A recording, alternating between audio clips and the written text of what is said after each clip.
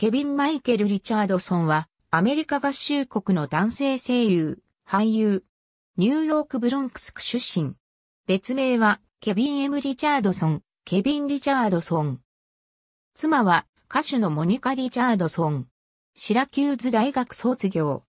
1989年に AT&T の CM で俳優デビューし、1993年から声優の活動を開始する。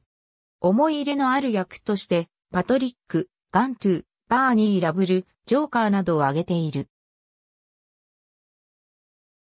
1996年、1997年、1998年、1999年、2000年、2001年、2002年、2003年、2004年、2005年、2006年、2007年、2008年、2009年、2010年、2011年、2012年、2016年、2001年、2002年、2005年、2007年、2008年、2003年、2005年、2006年、2007年、2008年、2001年、2002年、2003年、2005年、2006年2007年、2007年、2008年、1994年、2006年、1996年、2003年、2006年、2009年、2013年、2004年、1994年。